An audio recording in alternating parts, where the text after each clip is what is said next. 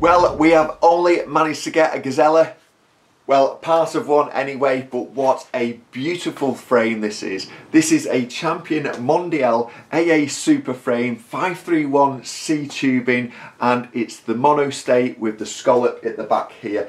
I first seen this frame when I visited Mitch with his bicycle collection, was really impressed and I fell in love with this frame.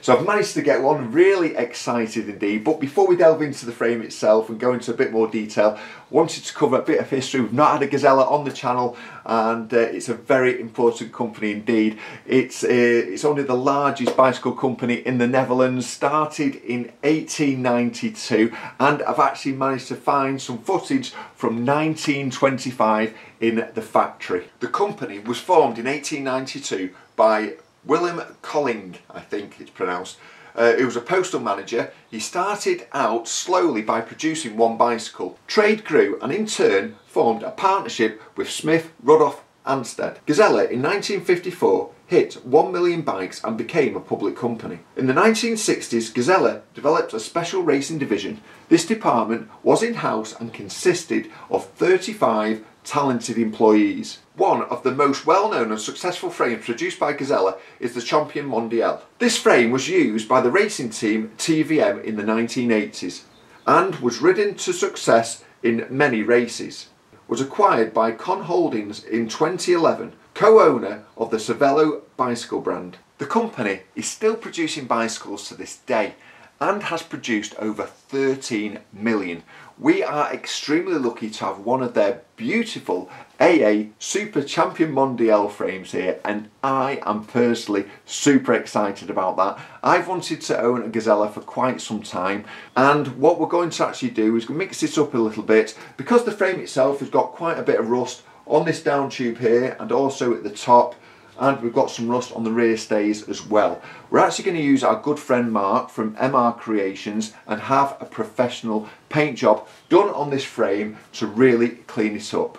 So to prep it, I'm just going to take off the head tube and a few bolts and we're going to leave it in the good hands of Mark. I've got a group set to find, some wheels, handlebars and everything else, so there's plenty to be getting on with. So let's leave it with him and take it from there.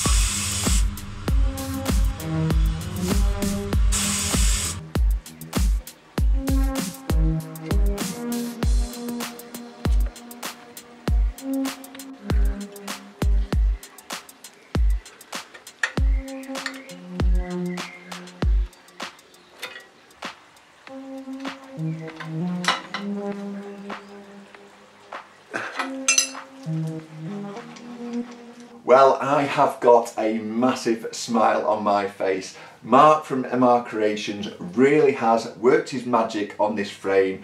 Done in pearl white with this metallic blue band. For me, these were the traditional Gazelle colours and the frame has come out absolutely stunning.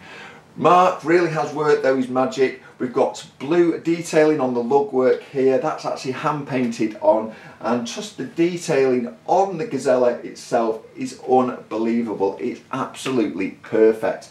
We've got Gazelle down here on the mono stay and we've also fitted the headset and also the sealed bottom bracket to accept the group set. That's on the side there, I'll get to that in one moment. We've also had to adapt the gear levers, which will probably give the, the group set away, but we've had to actually adapt them to fit the square mount which is on the down tube of the frame. So we've actually had to file them down to actually fit onto the mount itself. We have done, they're working fine, so that's all ready to go. And the group set is the Dura-Ace 7400. For me, probably the best Dura-Ace looking group set that was. So we've got that all on the side there, it's all complete. It does need a little bit of detailing and cleaning up, so we're going to polish that. We've also got a Campagnolo fluted seat post to actually polish.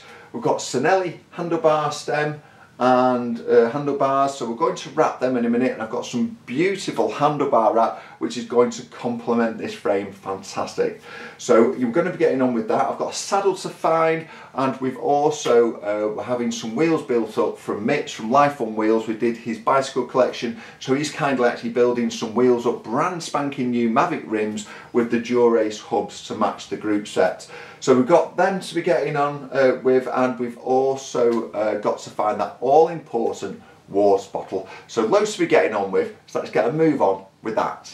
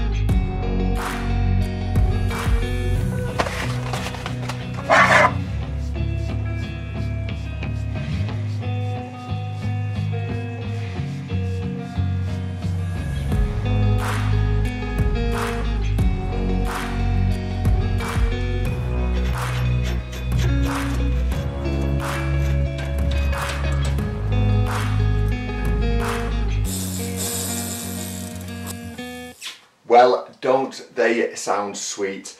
These have turned out absolutely beautiful. New old stock Mavic rims, Dura-Ace hubs, and uh, we've got some Challenge Elite um, tubular tyres on here. So very impressed with them and thanks Mitch for sorting these out.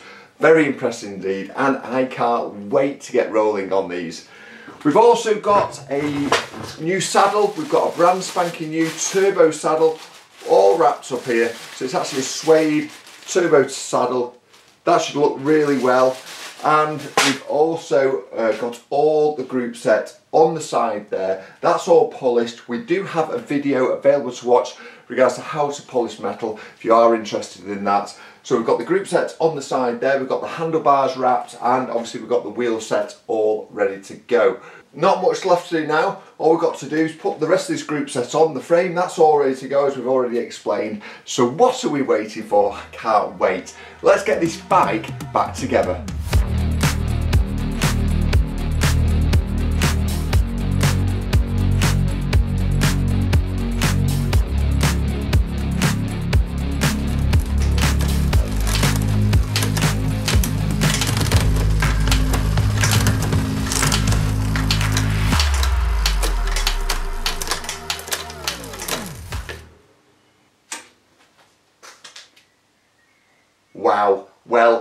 Doesn't it look absolutely stunning?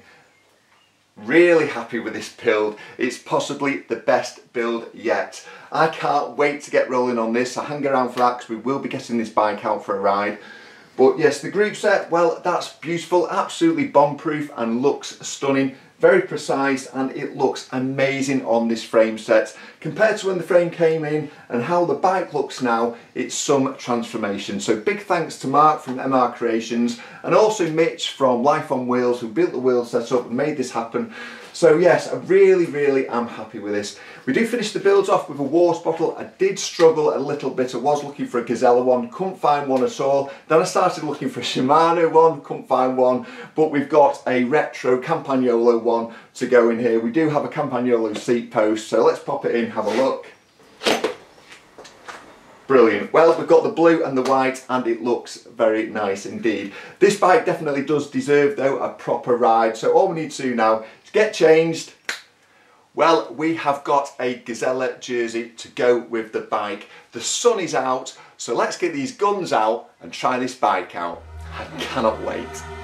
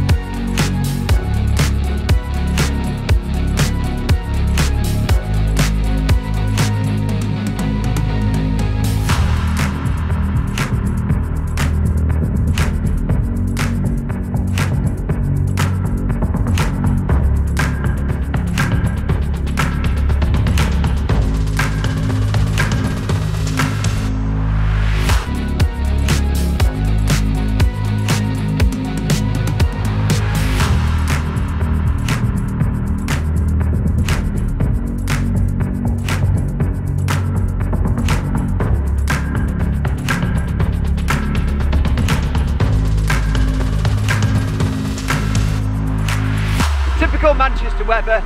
The sun has gone in, the clouds have come out, it started to rain, but I have still got a massive smile on my face. This Gazelle Monostay is absolutely beautiful to ride with the bomb-proof Shimano 7400 group set. It's absolutely stunning to look at and amazing to ride. I can't recommend recycling a bicycle enough and saving these beautiful pieces of art. If you have enjoyed watching the video then please like, share and subscribe. Other than that, thanks for watching. Bye for now. Right everybody, this is Stewart. He's the one holding the camera normally. So uh, big thanks to this guy. He has to put with me and all the potholes. Um, so there we go.